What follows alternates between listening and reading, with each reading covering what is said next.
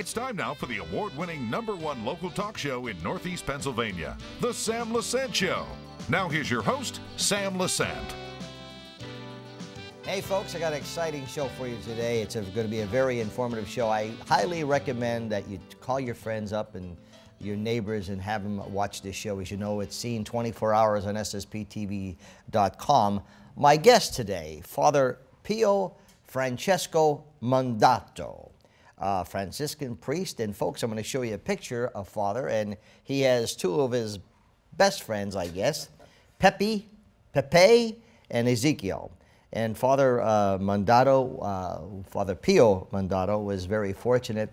Uh, his first communion was given to him by Saint Padre Pio, and his family is connected with the Saint uh, Padre Pio.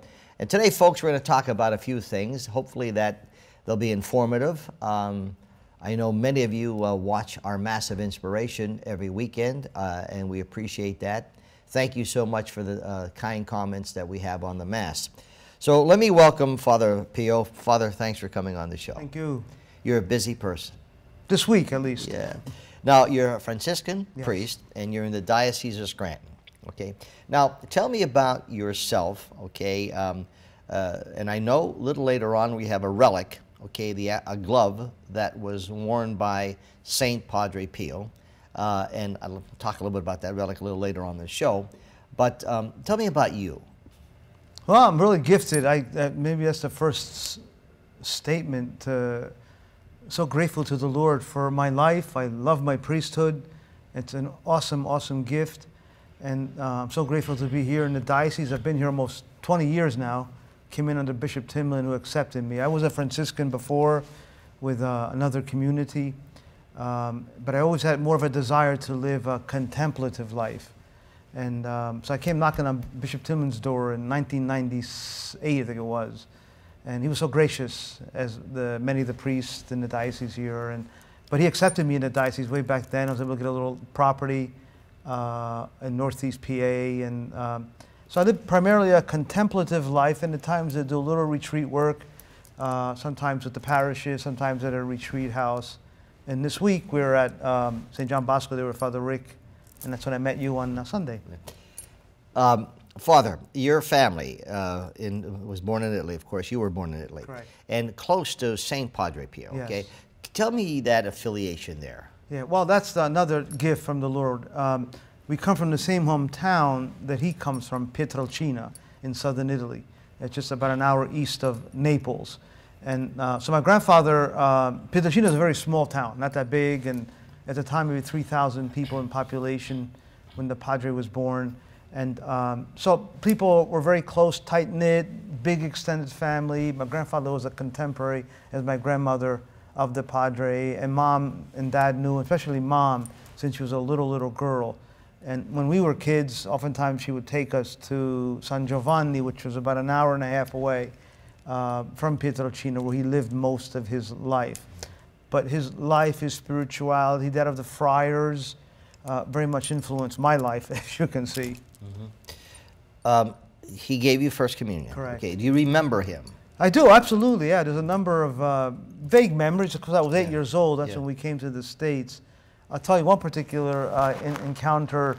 My grandfather took us upstairs to the uh, where the friars were, and only the men were allowed in the cloister.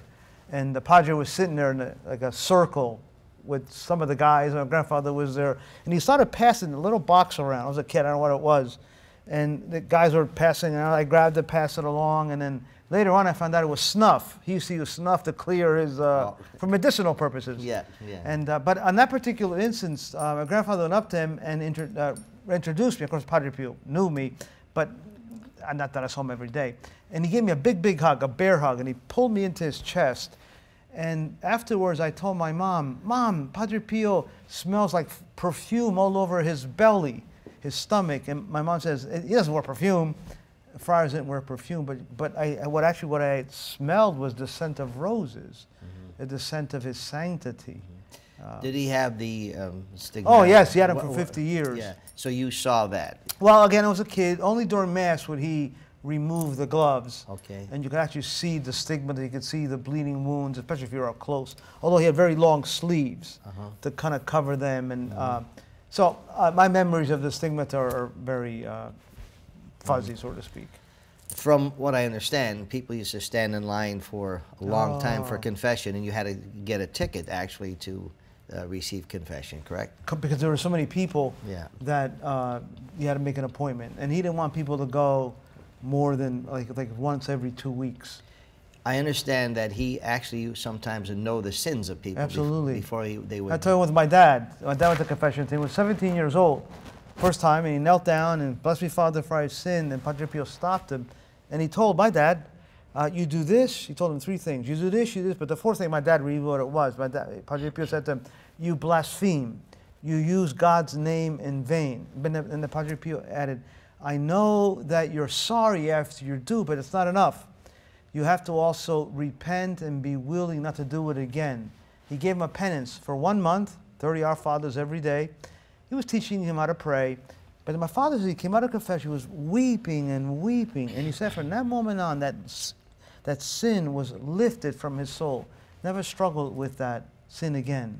So the Padre read his heart, as you're saying, as he did in many, many situations. So, with that being said, and, and you look at you know Lourdes, you know the Blessed Mother appearing, and and uh, we were very, my wife and I were very fortunate to go there, and it's it's a feeling that you, you just you know can't understand until you're there. But with that being said, you know uh, we talked about faith, and we talk about you know as a Catholic, okay, um, here you have living proof, Saint Padre Wow, Pio, yeah. okay, uh, of what you know, it's living proof, okay we have the Mass. Catholics have the Mass. Um, tell me why, explain to me as a Catholic, why the Mass is so important. Explain it Yeah, to that's a me. good point. That's a real good point. Yeah, that's um. Well, the Mass is a reliving of the life of Christ, and particularly his sacrificial moments and the last moments of his life, which we call the the Passion, the Death, the Resurrection. Theologically, we speak about the Paschal Mystery. We're getting ready in Easter here to celebrate in a brand new way the Paschal Mystery. But what's important about it and essential is that it's not just a memorial. We're not just getting together to have a meal to think about something that happened in the past. It's something that's happening right now. And in the Mass, it's a brand new reliving of that same historical moment of the passion, death, and resurrection of Christ. Many people, of course, refer to the Baltimore Catechism, uh, but even deeper than that, than the Baltimore Catechism, theology teaches us that the Mass is the unbloody sacrifice of Christ. It's the exact same sac- sac- sacrifice. And if we knew what was going on, we would actually be at Calvary. There's some stuff with Padre Pio, if you want, I can share with you about how he celebrated Mass and how the veil actually was lifted, where people were able to see what actually was going on. Uh, What do you mean by that, the veil? the veil of being able to enter into and see the passion of Jesus being relived. Because when Padre Pio said the Mass, for example, as, many other great saints who were priests, they actually suffered and agonized because the, a priest is always a victim. There's a part of priesthood that, as a priest, I'm a victim. I offer my life, my sacrifices, my struggles in union with that of Jesus for my brothers and sisters. In the Padre, that veil was lifted. Sometimes people would see him literally with a crown of thorns bleeding down his face. One of the most uh, interesting in things that happened was a man who was very close to him and saw Padre Pio come out to celebrate Mass, going to the altar, carrying the chalice, and he was preceded by these luminous beings. They weren't present in the church. They walk in front of him that was filled of light, and this beautiful woman on his, whether his right or his left. And he wrote everything down. And he says, and he asked Padre Pio afterwards, a priest asked him, Are those angels? Was that Our Lady? And Padre Pio, uh, when he read the letter, the, the priest showed him, he put his head down and he headed it back. He didn't want to acknowledge it because for him there were secrets.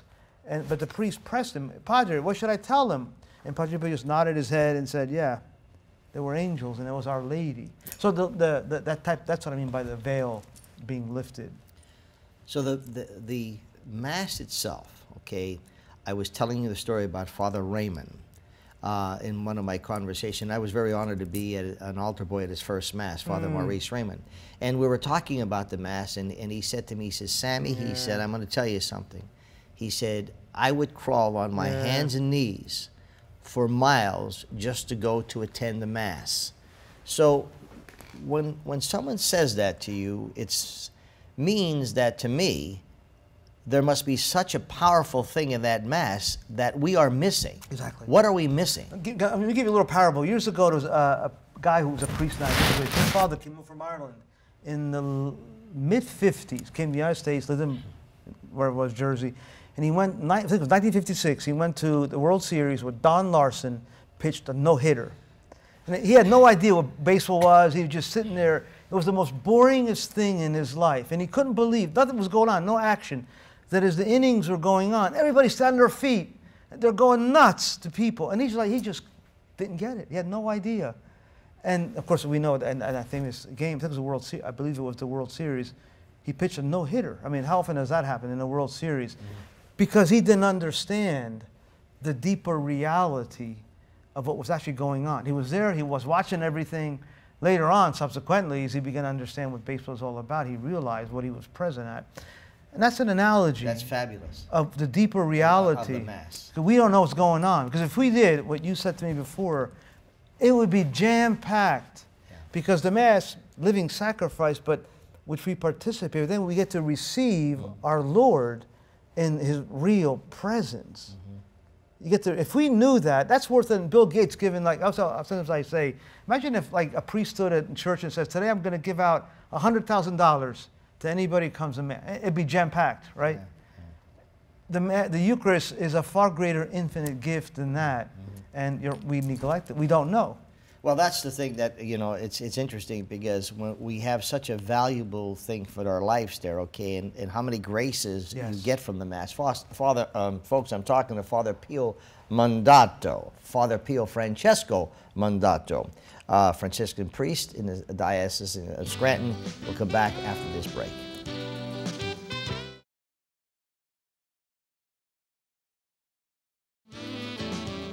Welcome back to the Sam Lesante Show. Folks, remember 24 7, you can watch all of our programs on SSPTV.com.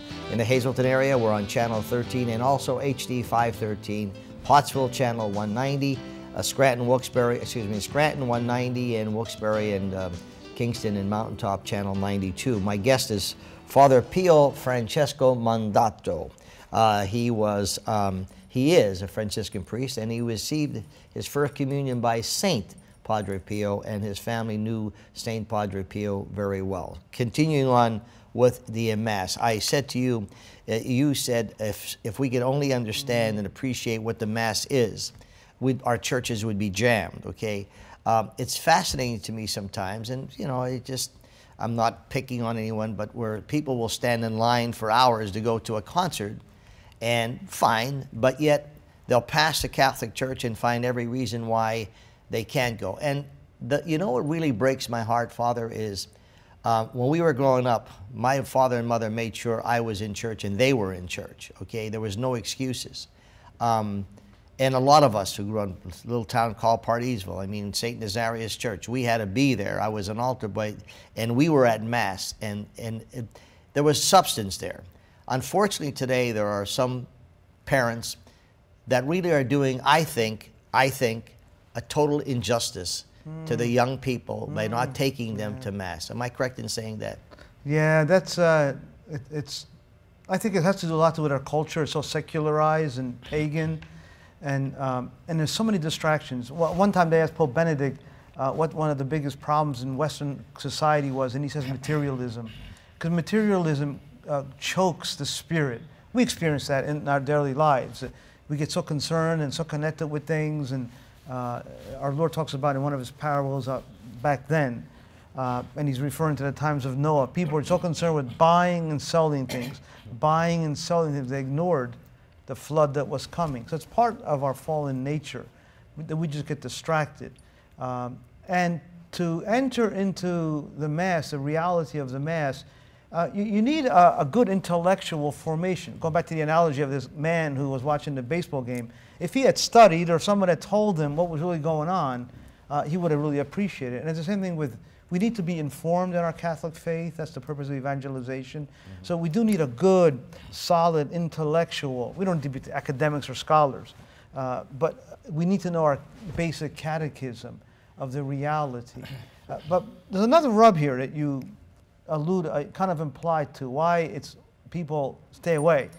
And because Jesus is a tough lover. He's the most difficult lover we will ever meet, the most demanding of lovers. Uh, he's infinite love. And that's one of my points I'm speaking about at the parish is that uh, if you begin to follow him as a disciple, uh, what must I do? The rich young man asks Jesus to enter eternal life. What does our Lord say? Keep the commandments. We don't like to hear that one. Um, because keeping the commandments always calls us to a, a greater love and in all sorts of life. You could be priest, married, single. I mean, he calls us and he challenges us to a higher law of love. So, Father, uh, before we show the relic of St. Padre, Padre Pio, what do you say to those fallen Catholics who feel that a golf game, a soccer game, a baseball mm, game, wow, a football yeah. game, uh, you know, going out, doing something on a Sunday morning or a Saturday need, who are not going to church and going to Mass. What do you say to those people? Well, I, I, as you were speaking, speaking I, I, thought of St. Matthew when our Lord in the Gospel of St. Matthew, chapter 5 or 6, he says, he tells us, Seek the kingdom of God above all things, and then everything else will be given to you. So we need to put, put God first. And if you put Him first, then you go play golf. You can enjoy that. You can enjoy a good dance. You can yeah. enjoy yeah. having a good life. But if you neglect God, that other stuff falls apart. You know, it's interesting how in life people who neglect it and, and because they're living fine, they have their two cars, they have a good job, and who needs God at this point? Why do, why do I have to go to Mass, especially take my children yes. to Mass? I don't need God. Yes. Except when you hit a bump yeah, in the right, road, right. Uh, when like Father Bishop Timlin, who's been on the show many times and a very good friend of mine, oh, wow. Uh, he says when you hit a bump in the road. Yeah, so it. when you get sick, yes. and you, you, you think you're going to see the Maker, all yeah. of a sudden you're right. back, you know, to church and you want God, etc., etc., and uh, it's just fascinating to me. Now, um, so uh, not to lecture anybody, but maybe sometimes understand what you're really missing in life. And believe me, I said I'm a sinner. There's no question about that. You have a relic, okay? Yes. Can I see that relic? okay. This is uh, this is the first time I'm seeing it, folks. Okay. It's in the plastic bag here. Okay. This is the relic. Now this is um, this is a glove. It's one. Yeah, one. One of, of the gloves that um, Saint Padre Pio used to wear. Okay. So um, we had a relic here, at Saint uh, Pauline Visintainer, when Mr. Visintainer was here. In fact, this is the pin I wore with Saint uh, Pauline Visintainer. Um, what what does a relic mean, and and, and what what is it? Yeah, first of all, it's not magic. It's not Yeah. superstition. Yeah, yeah. It's it's it's it's not a sacrament. Um, it's not holy in itself. But in the Acts of the Apostles, uh, there's a beautiful passage where um, when Peter and even with St. Paul, but I'm, the passage that comes with St. Peter, because he, he worked miracles in the name of Jesus. And sometimes people would, they couldn't get to him, and they would bring like a cloth or bring something that Peter touched. And they would bring this. Sometimes even a passage with water that some of the saints washed their hands. And they bring these things to somebody else, and it becomes an instrument of grace. But it's got to be connected with faith, a deep, deep faith. So obviously, Padre Pio had the wounds of Jesus, uh, and uh, a relic was something that he touched, especially in a particular way, a glove that covered his stigmata. Uh, it's not holy in itself, and but if it, it can evoke people's devotion and faith in the Lord, then that's when our Lord can touch and um, uh, even work miracles. So when you say, you know, you kiss the relic, or you know, for example, you know, the relic is no magic, etc. But what happens you know, with a person when you know when you're, you know, sometimes they say we have the relic of Saint Peter. Yeah, I mean, when we were in Rome, when we went Yes. downstairs, we saw the bones of Saint Peter. Okay, what what does that do? Yeah, I think it evokes faith. You know, like uh, many times people, especially like non-Catholics, and not even Catholics, that have a hard time with stuff like this. First of all, we never worship this stuff. We never worship statues. You know Right. that whole thing. But um, it's a it's a human reality that mom dies, your wife dies, or we carry a picture of her. I may carry her rosary beads, mom's rosary beads, in my pocket. It's, it's not who she is, but it reminds me of her. Exactly, Uh, yeah. It could be a ring, it could be a cross, it could be uh, something else, you know, a flower pot that mom always loved. But it's a reminder of who she is, and it evokes a human sentiment. in your life so far, you know, uh, I, I could go back and tell you many miracles that happened. I mean, it, it, to me, they were miracles. What were some of the things that you have seen with people, you know, uh, individual people, whether they were sick, etc.? Any miracles that happened, such as if a person who was sick and was cured, you know, miraculously? Have you seen any of those? Oh yeah, I, up close, I, I'd have to give a little more thought. I'll share one with you with Padre Pio, which is really fascinating, because he was so immersed in the mystery of who Jesus. So Jesus is always the focal point. Uh, that he became an instrument. I, I use him as an example of some of the saints, an overflowing fountain. But there was a little boy who was born deaf and dumb, and especially in those days, they couldn't do anything for him, and they took him to visit Padre Pio. Father was an atheist, wanted nothing to do with the Padre. They were afraid of him. And mom went into the church, little boy's running around, meets Padre in the confessional, face to face. Um, and Padre Pio actually calls him. And the boy could heard, heard the Padre speaking. He was deaf, he heard him. And he got very close, and Padre Pio says, I want, I want you to go outside and call your father. How do you know his father was even sitting out there? The little boy heard, went outside, and the very first words he ever spoke in his life were, Dad, Padre Pio wants to see you. And people think there's no Holy Spirit. Oh my gosh. but but my I, but I like to finish that thought with this. Which was the greater miracle? The boy was healed mm-hmm. of his deafness and his dumbness. The father was converted. Yes. Which is the greatest miracle? It's that internal conversion. Mm-hmm, in mm-hmm. fact, St. Thomas Aquinas teaches us that uh, a conversion from sin to grace is even greater than the resurrection. It's a, mm-hmm. a participation. You hear so many times for people who have not gone to confession for a while, when finally they say, okay, fine, because they're either embarrassed or whatever.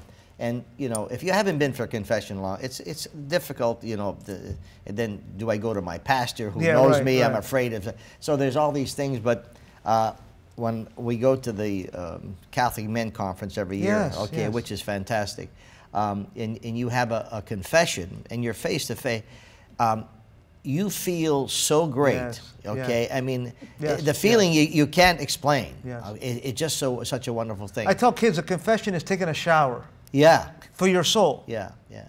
And you know, elderly people out there, um, you know, sometimes there. It's and you know the sad part. We have the massive inspiration. I told you, Father, and you know these are people who cannot go to mass.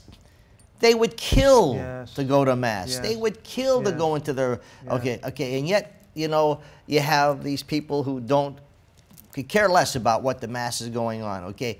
And the interesting thing is how many people drop their kids off for catechism, Yes, okay, yeah. and pick them up and don't even go to mass. Yeah. Okay. Um, and I, here, I'm not lecturing, but you know, it's such a sad thing until you hit that bump in the road, okay, and Father, pray for me. And you, you know, 9 11, if you remember, Yeah, exactly. churches were jammed. Um, One thing I like to tell people is that no matter where we are, and even striving to be faithful, and that we always regress, always invite Jesus in your heart. I think that's always the key. And to me, our Lord, Jesus Christ, is the greatest answer to agnosticism and atheism, which is so prevalent today. Because if you study his life, he answers that. He answers those questions. Is there a God? Study his life.